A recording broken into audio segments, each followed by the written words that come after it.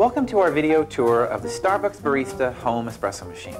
In the next couple of minutes, we're going to teach you everything you need to know to create the perfect shot of espresso and creamy steamed milk every single time so you can enjoy espresso beverages right in your own home. Our customers have asked us, how can I make the same great tasting espresso beverages like I get at the Starbucks store? In response, Starbucks designed a line of exclusive espresso machines incorporating our years of coffee making experience. What we created is the ultimate home espresso machine, the Starbucks Barista. Let's show you how the Starbucks Barista works. First, you'll need to make sure that you wipe down all of the external parts of your new machine with a warm, damp cloth and fill the water tank, all 96 ounces, with fresh cold water. Next, you're going to need some ground coffee, preferably Starbucks Espresso Roast. And finally, if you're going to be making a milk-based beverage like the latte, the cappuccino, or a mocha, you'll need fresh cold milk and a stainless steel frothing pitcher, preferably with a thermometer inside, so you know the temperature of the milk while steaming. Other items to have handy are a scoop, a tamper, shot glasses, and just in case you make a little bit of a mess in the kitchen, you'll need a damp cloth.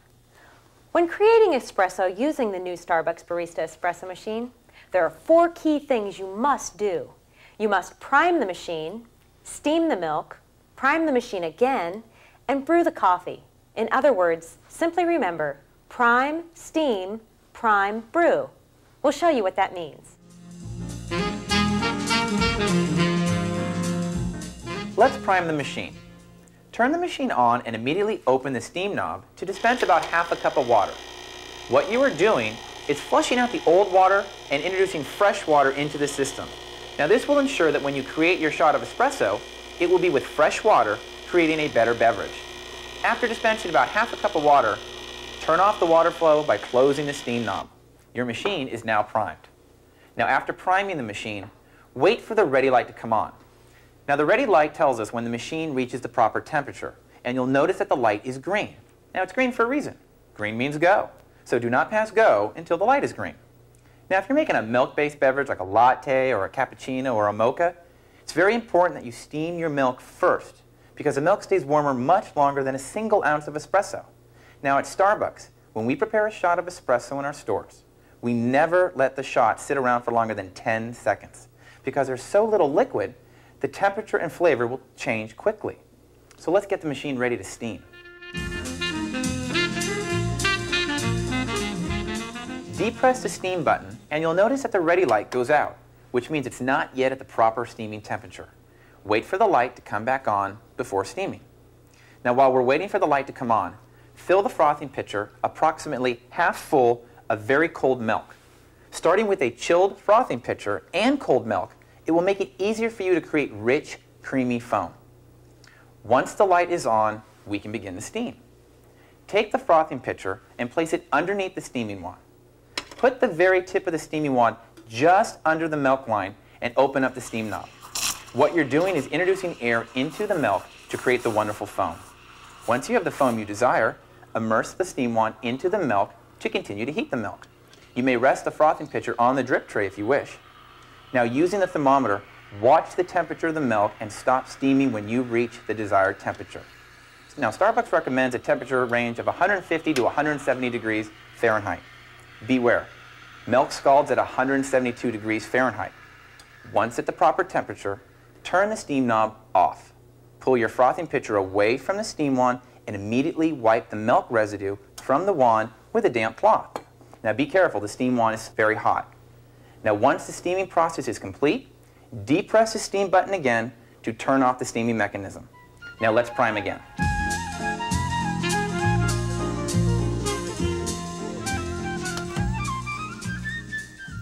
You press the steam button off, the light is still green. But you cannot brew yet because the water is too hot. It's still positioned for steaming, not brewing. So we need to prime again. To prepare to prime, you're going to need your Raporto filter system. The Raporto filter system is a revolutionary new way to brew coffee because not only can it brew using the conventional method with ground espresso, but it can also use a new method of brewing espresso called the pod. We'll talk more about that in a minute. For now, as we prime, we're going to use the hot water inside the machine to warm up the Raporto filter system. Place your portafilter into the brew head, pull all the way to the right, and let it snap back into place. Place your shot glass underneath the portafilter. Depress the brew button until the green light goes out. Once the green light goes out, stop the brewing function. This procedure lowers the temperature from steaming to an appropriate brew temperature.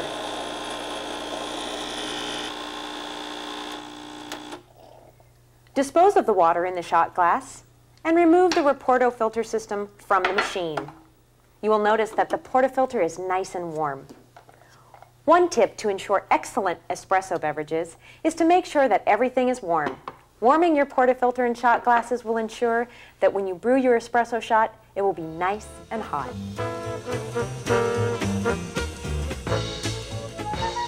Now, let's brew. What we're going to do now is show you how to create the perfect shot of espresso.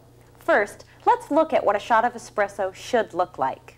For the first shot of espresso that we're going to make, we are going to use the Raporto filter system with the ground coffee insert. We're going to use some freshly ground Starbucks espresso roast and our scoop and tamper. Here we go. Measure one scoop of Starbucks espresso and place it into the portafilter basket, tamping lightly. Place the portafilter into the brew head and move the handle all the way to the right, as far as it can go. Let go and it will automatically snap back into place. That's how you know when the Raporto filter system is properly positioned. Place the shot glass underneath the portafilter. Make sure the ready light is on and depress the brew button. Stop the brewing at the one ounce line by depressing the brew button for a second time. Looking at this shot, notice the color variations. The heart is thick and dark at the base of the shot. The body of the shot billows to the surface. The top of the shot is golden crema, full of sweetness. All of these elements are found in the perfect shot of espresso. This is what you want to be creating. It has the body and texture that you want, so when you make a latte and take your first sip, you'll say, this is the taste that I've been missing in my home espresso beverages. This is what I'm looking for.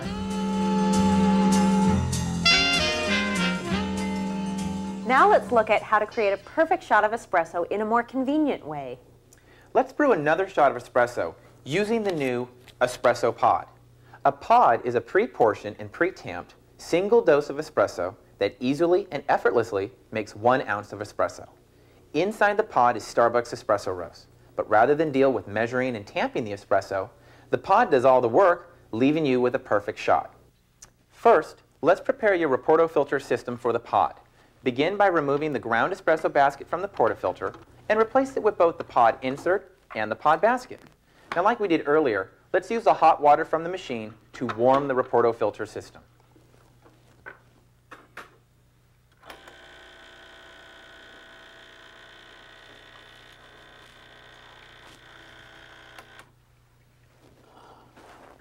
You will notice now that the portafilter is nice and warm. Now we're ready to brew. Let's show you how to use the pods. Remove the pod from the flavor sealed pack and place it in the Raporto filter system.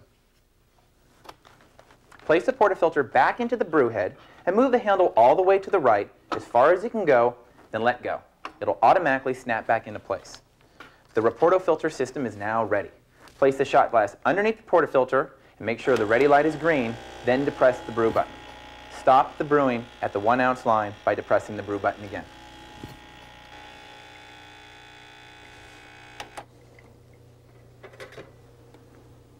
What you'll notice with this shot is that it has the characteristics of a perfect shot of espresso, especially the beautiful golden crema.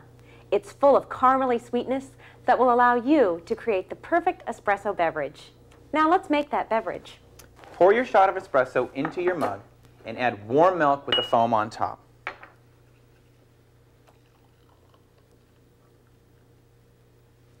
You have just created the perfect cafe latte.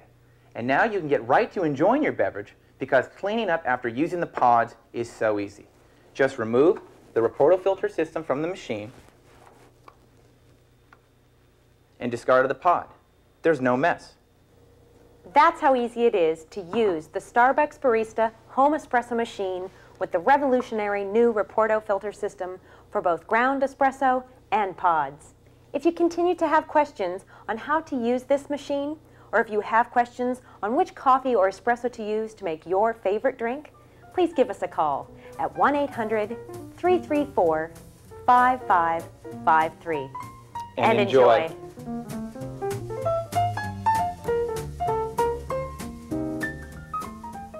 Your Starbucks Barista Home Espresso machine will bring you years of coffee enjoyment if treated properly and cleaned periodically. Brewing espresso and heating milk can cause a few problems that are easily avoidable with some simple care and cleaning procedures. We're going to focus on the three most common problems you may experience that are easily avoided by a quick cleaning. The three areas of concern are the brew head, the portafilter, and the steam wand.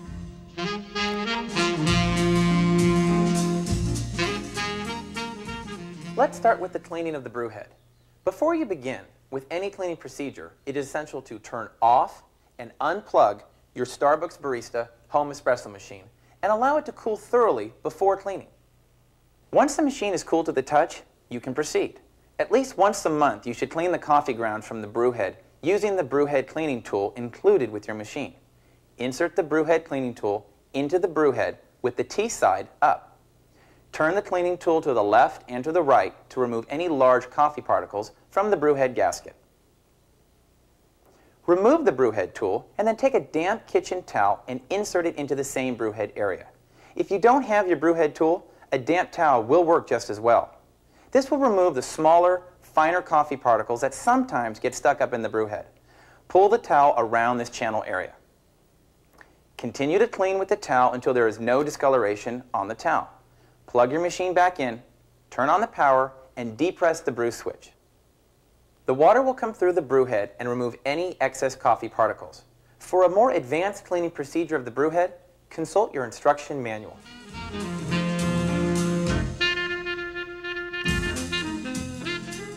Now, let's look at the portafilter. When cleaning the Raporto filter system, begin by removing the filter basket. Wash the Raporto filter basket with a brush. If necessary, take a small pin and poke any clogged basket holes in the filter. Place the basket back into the portafilter and then place the portafilter inside the brew head. Plug the machine back in, then turn on the power and depress the brew switch. The water will come through the portafilter and remove any excess coffee particles. Perform this cleaning process with both the pod coffee basket and pod coffee pressure insert, as well as the ground coffee basket. Be sure to hand wash all the parts of the Raporto filter system. Never place them in the dishwasher.